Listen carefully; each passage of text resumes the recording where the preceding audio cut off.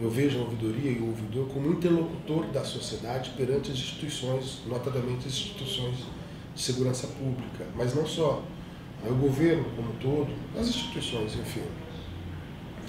Pensando nisso, a ideia de interlocução é exatamente poder fazer mediação. Né? E para fazer mediação, nós precisamos ter um ambiente de paz, evidentemente, um ambiente de confiança mútua, né?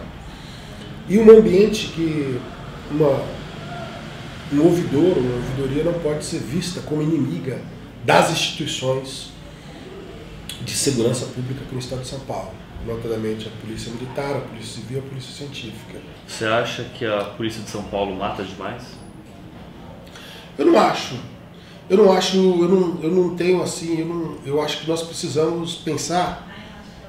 Eu, se eu responder essa, essa pergunta dessa forma, sem estar circunstanciada, sem levar em conta os elementos objetivos de, de, dos eventos policiais, eu seria impreciso na resposta. Eu poderia correr o risco de ser, de ser impreciso e de ser talvez até leviano ou ao mesmo tempo não, não, dá a resposta com precisão. Em apenas duas ações policiais em vários funks, é, somada a essa de Paraisópolis e Guarulhos, 12 pessoas morreram.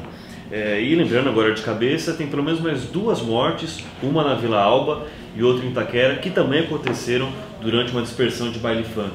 É, como que a ouvidoria pretende agir em relação às polícias sobre essas atuações específicas para dispersão e em bailes funks? Todas as vezes que nós fomos que a ouvidoria foi procurada para se reportar alguma ação envolvendo algum policial, nós iremos fazê-lo e procurar os caminhos é, legais é, que tratam da matéria. Então nós temos a Polícia Militar, a Corregedoria, a Polícia Civil, né, a Polícia Científica, idem. Então nós vamos é, usar desse expediente né, formal para evitar subjetividades. É, ao meu ver, é, a gente erra menos quando a gente formaliza né, as nossas, os nossos movimentos. Quando a gente tem uma linha a seguir, formal, a gente pode, evita erros tanto de um lado quanto do outro. É, a gente não pode analisar um fenômeno, um, um, evento, só pelo seu pelo resultado final. É preciso discutir pensar as circunstâncias. Por isso que eu insisto é, que nós vamos ter essa conduta sem prejulgamento, sem preju prejugar ninguém. Se eventualmente uma pessoa é, comete algum erro, a instituição não pode ser punida e não pode ser, digamos assim, é, receber crítica em função de, da ação individual, né? da, da, de ação individual dos seus agentes. O, senhor já foi alvo de racismo por parte da polícia? Eu já fui.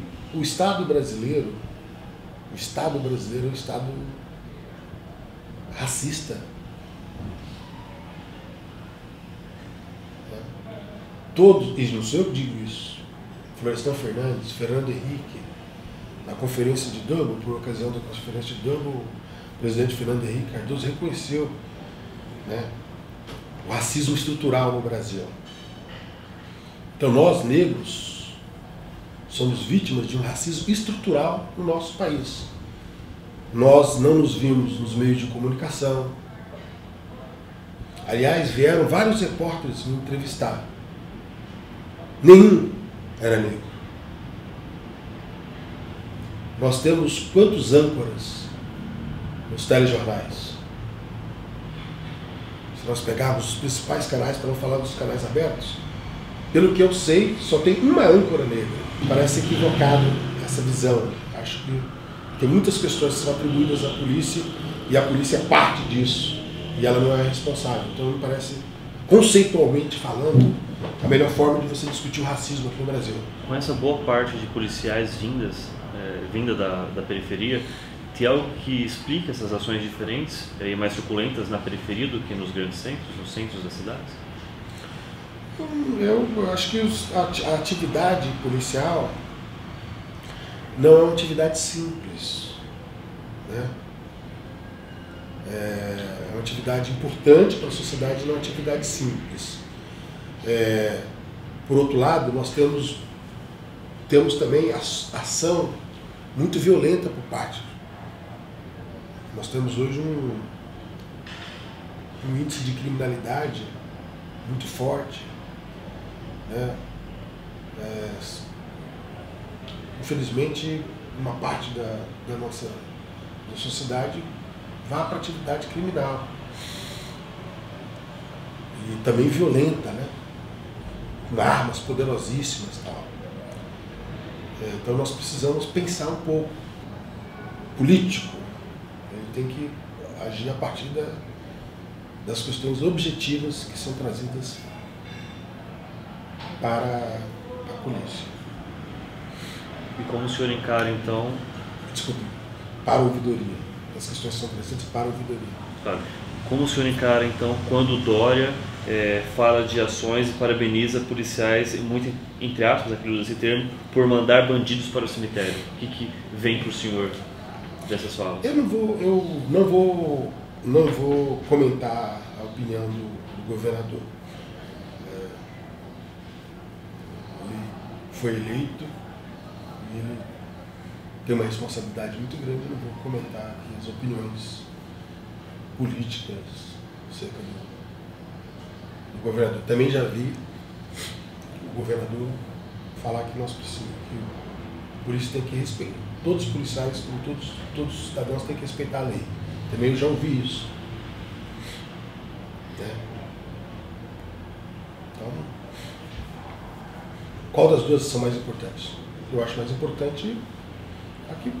Se o governador está falando que precisa respeitar a lei, e eu iniciei o meu, minha, a minha entrevista falando que o limite nosso está exatamente na lei, eu acho que isso deve servir de paradigma. E ao mesmo tempo que ele fala dessa, desse respeito à lei, ele fala justamente sobre mandar para o cemitério. Ele não estaria é, mostrando uma lei para o governo dele? Eu, eu, como disse, eu não vou fazer. Eu acho que isso é uma interpretação sua, né? Respeito, mas eu não vou fazer uma. Não vou fazer interpretações subjetivas da fala do governador. Não acho que é o caso.